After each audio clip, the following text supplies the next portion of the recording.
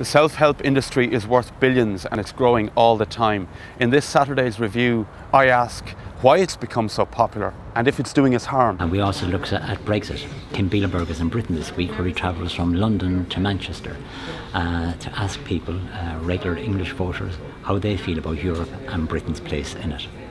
In this Saturday's Weekend magazine, our cover star is Liz Bonnin, uh, the BBC Wildlife presenter, and she's talking to us about kind of her early days as a celebrity reporter and why she chose the path of science rather than being a celeb.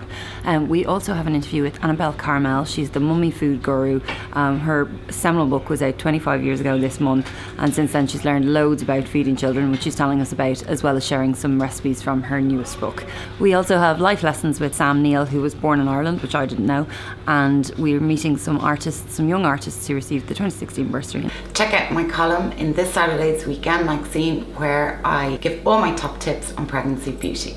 Now, it's only a couple of weeks till the Euro 2016 Championship kicks off in France, and we are going big on that country in this Saturday's Weekend magazine. We've got 16 pages of travel to the world's most popular tourist destination everything from Paris to river cruise to the Côte d'Azur and Cannes, and lots more in between. Saturday's Irish Independent. It's your weekend.